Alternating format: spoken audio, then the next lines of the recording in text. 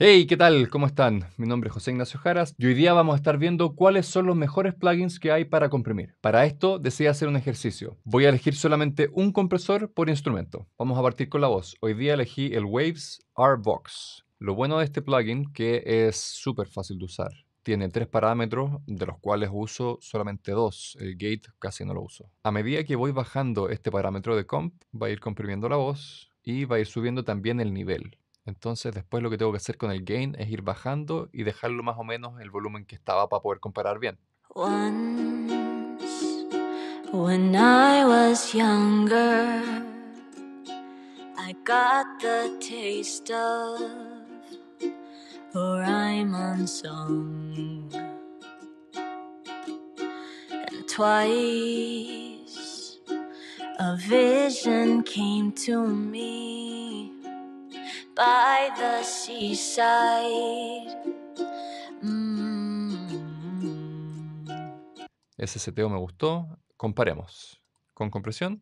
Once, when I was younger, Sin compresión.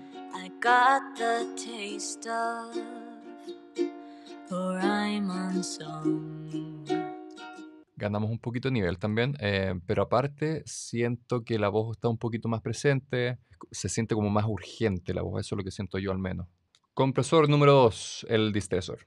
Es uno de los compresores que más me gusta, muy versátil, y vamos a comprimir el ukelele. También sirve para guitarras acústicas, obviamente, guitarras eléctricas, aunque cuando tiene distorsión la guitarra eléctrica yo suelo no comprimirla. Vamos viendo. Partiendo de cero, este es el Factory Default.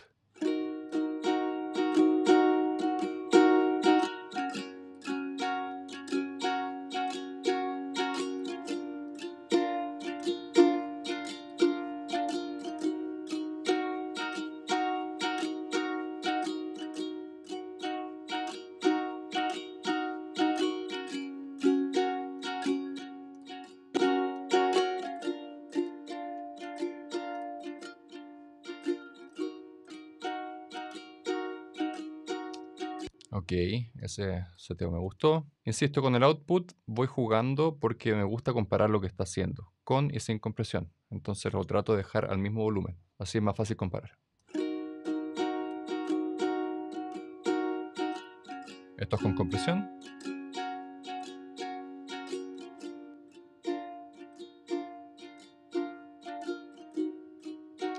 Y aunque está un poquito más despacio sin compresión, eh, siento que con el compresor gana un poquito más de medio, un poquito más de ataque. Número 3. Si tuviera solo un compresor en la batería, ocuparía este AR1 de Kush Oreo. Por lo que entiendo, este simula un Altec modificado como el que usaban los Beatles. Escuchemos. Esta batería no tiene absolutamente nada, se grabó así, sin compresión, sin ecualización, sin nada. Escuchemos. Y ahora le agregamos el AR1.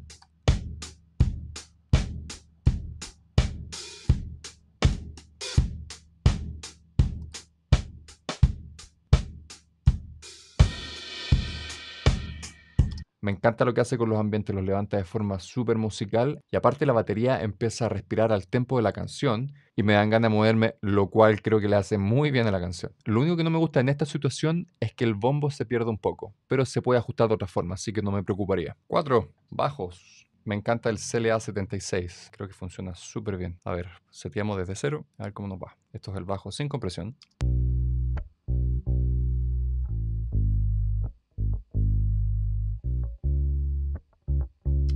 Vamos a setearlo.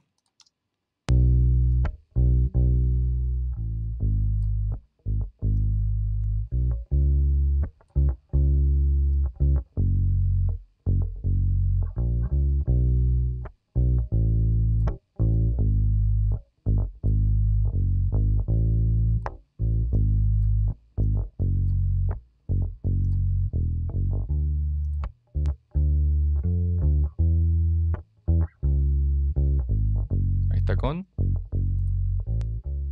Ahí sí.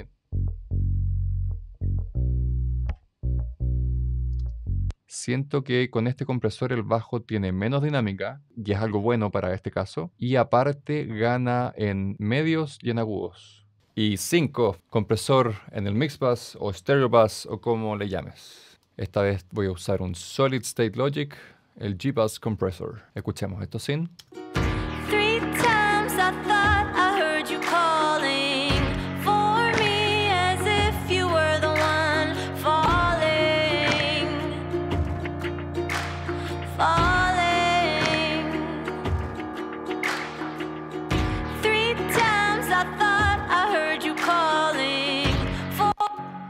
Siento que la canción se aprieta súper harto, sobre todo en los bajos, y está mucho más controlada. Y si se fijan, o sea, era menos de 2 dB de compresión. Eso es todo, nos vemos en otro video. Que estén bien, cuídense.